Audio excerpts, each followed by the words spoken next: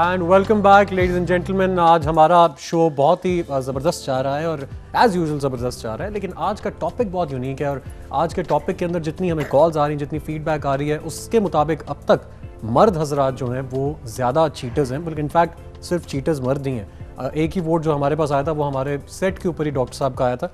सो मैं तमाम मर्दों से कहूँगा कि यार, अगर आप लोग चीटर्स हैं तो चलें, अपनी चीटिंग का कोई किस्सा सुना दें। लेकिन कम से कम सामने आए। इसको एक्स पार्टी डिसीज़न जिसको कहते हैं ना, वो ना होने दीजिए। बहरहाल, इस वक्त मेरे पास एक एक और एडिशन आया है गेस्ट का। और उनका इंट्रोडक्शन मैं कुछ यूँ देना चाहूँगा कि मैं सबसे पहले तो आई एम ऑनर्ड कि वो हमारे सेट पे आई हैं। बारह साल तकरीबन वो पाकिस्तान का नाम अमेरिका, इंग्लैंड, हर जगह पर रोशन करती आई हैं।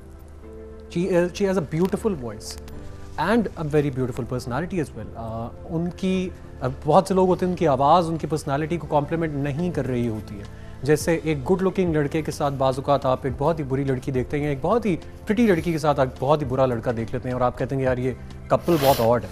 आ, ऐसा इनके साथ नहीं है। इनकी आवाज़ और इनका अंदाज़ दोनों एक दूसरे को कॉम्प्लीमेंट करते हैं।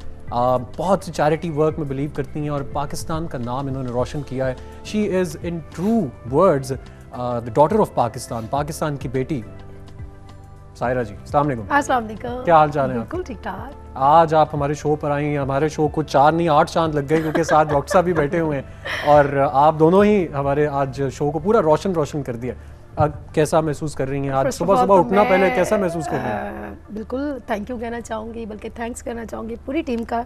ए टीवी से और ए प्लस से मेरा कुछ ऐसा रिश्ता है कि जैसे एक फैमिली मेंबर्स होते हैं हम्म। क्योंकि जब मेरा फ़र्स्ट एल्बम रिलीज़ हुआ था तो मुझे जितना ए टीवी ने सपोर्ट किया था तो मैं समझती हूँ कि मैं वो सिंगर हूँ जो ए टीवी ने मतलब ए टीवी ने मुझे बनाया बिल्कुल ठीक तो उसी रिलेशन के साथ एक रिश्ता जब जुड़ जाता है तो वो मज़बूत हो जाता है। लेकिन ये है कि जो आपका ये जो आज का टॉपिक मैं सुन रही हूँ हम्म, हम्म। अभी तक मेरे और ए टीवी मेरे प्लस में अभी तक चीटिंग नहीं हुई। चीटिंग नहीं हुई नहीं ऐसी हमारे बीच में चीटिंग होनी भी नहीं चाहिए क्योंकि हम बात कर रहे हैं इस वक्त उस चीटिंग की जो कि रिलेशनशिप्स के अंदर होती है। बिल्कुल। जो लड़का लड़की के साथ या लड़का लड़की लड़के के साथ करती है एक, एक किसी रिलेशनशिप के अंदर करती है। और इसी तरह के काम को शेयर करने के लिए हमारे साथ सायरा जी खुरम है इस वक्त लाइन पे। सलाम जी।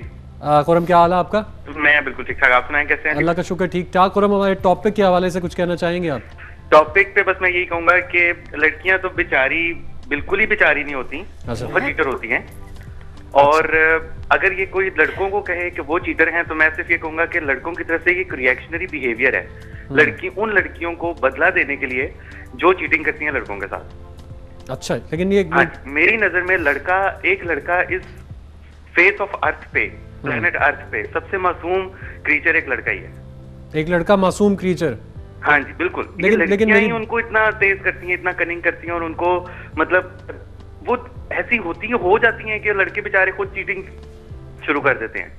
खुरम? वरना लड़के बेचारे बहुत मासूम है। हाँ खुरम इसका जवाब सायरा मेरा ख्याल है आपको बेहतर दे सकती है सायरा खुरम मैं तो आपको आपकी बातें सुन के ना जो है बहुत आपसे मुतासर हो गए कि आप इतने मासूम हैं इतने भोले हैं। तो मैं पता आपको ये कहना चाहूँगी कि दोनों तरफ़ ही होती है। वो क्या कहते हैं ताली एक हाथ से कभी भी नहीं बचती दोनों हाथों से बजती है। आपको जैसा वो कहते हैं कि गिव एंड टेक होता है आप जैसा करते हो वैसा आपको वो मिल जाता है। जी वो कह रहे हैं कि लड़के मासूम हैं। मासूम। झूठे लड़के तो फजूल लड़के। अब मासूम लोग कैसे चीटिंग कर सकते हैं?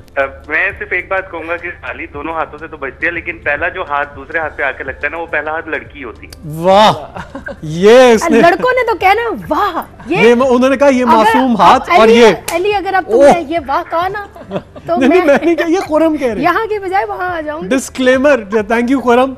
Disclaimer जी ये ओपिनियन आप लोगों का है और इस ओपिनियन को सिर्फ़ हम इसके लिए राय मशवरा और इसको डिस्कस कर रहे हैं ताकि किसी चीटर को भी आज ये एहसास हो जाए कि वो किसी के साथ चीटिंग ना करे। बाल खुरम की बात खुरम की बात थी वो अली की बात नहीं थी। वो कह रहे हैं कि ये हाथ ये हाथ लड़का है और ये लड़की है। उनसे बात कर रही हूँ कि अली ने बहुत चीटिंग किया मुझे बुला के आज यहाँ पे। एक ऐसा चैप्टर रख लिया है पता क्या टॉपिक चीटिंग वाला और एक अगर मुझे पता होता मैं कभी भी ना इस प्रोग्राम में नहीं नहीं नहीं आपका मैंने तो see end of end of this program मेरी चाहने वाली आपको पता है मेरी तादाद जितने भी चाहने वालों की है प्यार करने वालों की वो लड़कियों की है। लड़कियों की है। अच्छा वो मेरा ख्याल है इस जो वजह से ढाई लाख आपके मुझे आपके गाने वो मुझे एक दुपट्टा भी किसी बंदे की जात ने नहीं दिया। नहीं लेकिन आप आपसे रिलेट करती होंगी ना वो सारी लड़कियाँ क्योंकि मेरे वो में एक बात फीलिंग्स के साथ रिलेट है। करती होंगी, मैं ये कह रही हूँ एक बात आपकी इजाज़त से। जी जी जी जो। गाना आपका है ना वो हर लड़की के दिल की आवाज़ है। हर दिन।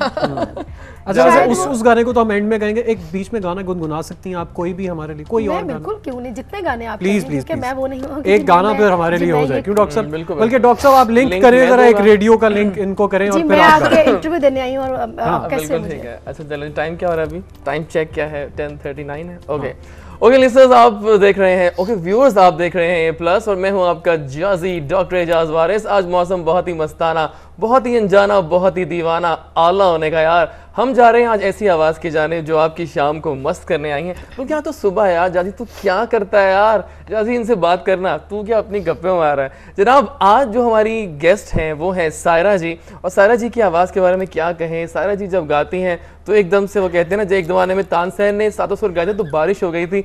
आज लगता है कि बारिश होने के आसार तो नहीं है यहाँ सेट पे लेकिन साया जी की आवाज़ में हमको सुनने जा रहे हैं। मेरी पसंद वैसे जावेरिया थी लेकिन लगता है कि अली की पसंद कुछ और है तो अली की पसंद फ़िलहाल ले लेते हैं। हाँ, और मैं एंड पे सुन लूँगा आपसे जावेरिया लिसनर्स आला होने का यार मस्त होने का अनजाना होने का ओवर टू सायरा जी। मैं बोलता बहुत हूँ मैं डॉक्टर साहब की बहुत थैंकफुल हूँ कि उन्होंने मुझे इतना अच्छे तरीके से इतनी मोहब्बत से आप लोगों के सामने गाने के लिए बोला। तो आप सब मेरे साथ क्लैप करेंगे बिल्कुल बिल्कुल करेंगे। जब से तेरे नैना मेरे नैनों से लागे रे। जब से तेरे नैना मेरे नैनों से लागे रे। तब से दीवाना हुआ सबसे बेगाना हुआ, रब भी दीवाना लगे रे। रब भी दीवाना लगे रे, ओ, ला ला ला ला ला ला ला ला। लागे रे। वाह जी वाह ज़बरदस्त। बहुत आला। मैं चाहता था कि मेरे जितना कैमरा क्रू है यहाँ पर वो सब भी आपके लिए ताली बजाता लेकिन वो ताली बजाते तो सारे कैमरे नीचे गिर जाते आई श्योर वो सारे बजाना चाहते होंगे। अच्छा वैसे ये जो गाने आजकल गा रहे हैं लड़के लड़कियाँ बहुत ज़्यादा आप तो आजकल बल्कि इन टच भी होंगे उन हाँ सबसे। बहुत ही ट्रेनिंग के बगैर आ जाते हैं। You being a proper singer एक एक बैकग्राउंड से आप आई हैं जिसमें आपने ट्रेनिंग ली हुई है आप कुछ सजेस्ट करना चाहेंगे ऐसे मैं सिंगर्स बिल्कुल करना चाहूँगी। बुरा मैं किसी को भी नहीं कहती क्योंकि एक जब चीज़ बहुत ज़्यादा हो जाती है ना कि आप भी एग्री करोगे मेरी बात से डॉक्टर साहब भी करेंगे कि जब चीज़ एक बहुत ज़्यादा रुल जाए ना तो वो ख़त्म हो जाती है। दैट्स ट्रू वो उसका आप आपके सामने उसकी मिसाल फ़िल्म इंडस्ट्री हमारी बिल्कुल यहाँ पर बंद हो गई क्योंकि काला गुजर छोटा गुजर मोटा गुजर नीला गुजर पीला गुजर वो सिर्फ़ यही टॉपिक रह गया। और दूसरा ये कि म्यूज़िक इंडस्ट्री क्यों फना हो गई बर्बाद हो गई वो इसलिए हो गई है। कोई गिटार बेच रहा है वो सिंगर बन गया है। किसी की कमेटी निकली है वो सिंगर बन गया है। जो कंपोजर थे वो जो गाने गवाते थे वो सिंगर बन गए हैं। जो लिखते थे वो सिंगर बन गए हैं। जो बजाते तबला बजाता था आज मैं उसे भी मतलब वो देख रही हूँ। मैं ये नहीं कह रही कि एक बुरा है। हर जो बंदा है वो जो जिसकी जगह नहीं है वो वहाँ पर है। यानी excess of everything is bad ज्यादती बहुत Yes, ज़्यादा हो गई तो ये हो गया बुरा हो गया तो जिसकी वजह से थोड़ा मैं खैर मैं तो खुद बड़े सालों से मेहनत की है। हम्म। तो तब जाके 12 साल की मेहनत से मैंने अली एक जा वेरिया जो मैंने लंदन में शूट किया था वीडियो और अल्लाह पाक ने परवरदिगार के करम से कि वो मेरी मेहनत मेरे खुदा की बारगाह में कबूल हुई और वो एक ही गाना मेरे लिए वो एक वो कहते हैं एक भी अच्छा हो तो। वो काफ़ी है आपके लिए। अच्छी चीज़ चाहे पचास साल तक भी अच्छी चीज़ अच्छी ही रहती है। बिल्कुल ऐसे तो मेरी उसके पीछे स्ट्रगल इतनी है मेहनत इतनी है मेरी वो बारह तेरह सालों की जीत है। मेरी हम्म। ज़िंदगी के वो गाना जीत है जा वैरिया अच्छा एक एक चीज़ जो कि डॉक्टर साहब आप क्योंकि पढ़ाते भी हैं हाँ आई बिलीव मैं बिल्कुल फातिमा मेमोरियल? बिल्कुल वहाँ पे आप पढ़ाते भी हैं? सबको पता लगे मैं वहाँ होता हूँ। वाह अच्छा है। हम लोग रिसर्च बहुत करते हैं। जैसे होस्टिंग के लिए एक्टिंग के लिए रिसर्च रिक्वायर्ड होती है। सिंगिंग के लिए भी रिसर्च रिक्वायर्ड देखिए मैं बताऊँ आपको इन्होंने बहुत अच्छी खूबसूरत बात की है। देखिए इनकी आवाज़ में वो ठोस जो देखा अभी आपने सुना वो क्यों था? बिकॉज़ शी हैज़ लर्नड हाँ। इन्होंने किसी से सीखा है। Practice। इन्होंने प्रैक्टिस की टाइम दिया। आजकल के जो सिंगर्स आ रहे हैं अली वो आई एम अफ्रेड टू से कि वो बगैर सीखे आते हैं। हम्म। घर बैठे मतलब गिटार बजाया। अगले दिन सुबह वो एक गाना रिलीज़ करते हैं वीडियो पे कैम पे हम्म। शूट करते हैं और यूट्यूब पर डाल देते हैं। एंड जैसे कि वी आर द सिंगर हमारा इंटरव्यू कर लीजिए। यू नो इस तरह की बात। offend भी बहुत होते हैं। नाराज़ भी हो बहुत जाती है अगर आप उनको कहो ना कि यार आपके उस्ताद कौन है? टॉपिक से ये मैं बात करना चाहूँगी कि ये भी चीटिंग है। ये भी चीटिंग हाँ, है। बिल्कुल, म्यूज़िक के साथ। यानी ये बिग चीटिंग है कि आप आओ सीखो और बजाय कि ये ख़त्म हो जाए ये और आगे बढ़े। हाँ बिल्कुल। तो वो मेरी नज़र में ये म्यूज़िक इंडस्ट्री क्योंकि अभी बहुत सारे लोगों की जवाद की इब्रार की बहुत सारे लोगों की मतलब सायरा अरशद की भी एल्बम रिलीज़ होनी थी ईद पर। क्योंकि अभी हमारे मुल्क के हालात जो हैं वो डिस्टर्ब हैं क्योंकि यहाँ हमें कोई कंपनीज़ नहीं पैसे देती कि लें जी पचास लाख और आप लगाएँ। बिल्कुल। मैंने अभी एक अमेरिका से वीडियो किया अभी मैंने एक इंडिया से वीडियो किया है दो वीडियो मैंने किया है उसमें मेरा अच्छा खासा पैसा लगा है। तो मैं ज़ाहिर है कि एक जब आप इतनी मेहनत करते हो इतना इन्वेस्ट करते हो तो वो इसलिए नहीं कि सिर्फ़ लोग देख के तो इंजॉय करें इस चीज़ को। वो ठीक है आऊँगी मैं आती देर बाद हूँ लेकिन मसाला मिर्च ये वो सब कुछ लेके आती। से आती बिल्कुल एक अच्छा काम लेके आती हूँ।